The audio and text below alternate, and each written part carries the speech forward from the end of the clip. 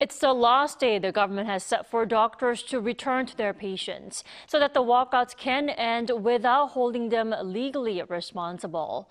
And the health ministry is also planning a meeting with doctors today in a bid to find a breakthrough. Our Shin Se-byuck starts us off. Thursday marks the return to work deadline set by the government for doctors protesting the planned medical school quota increase.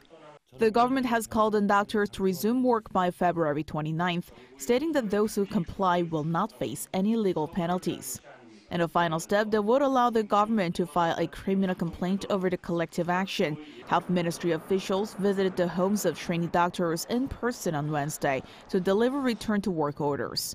Previously, these orders had been issued through mail or text messages. Those who do not return to work by today will face suspension of their medical licenses or additional legal action. South Korea's medical law stipulates that doctors and other medical personnel who fail to respond to return to work orders can face up to three years in prison.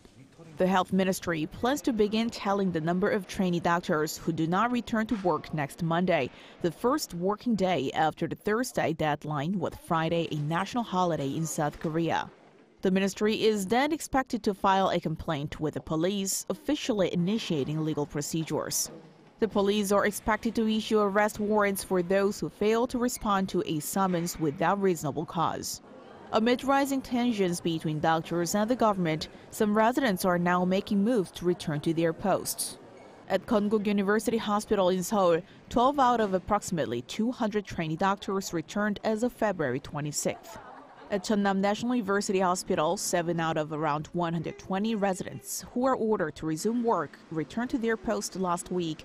And Chosun University Hospital has seen 7 out of 113 residents come back.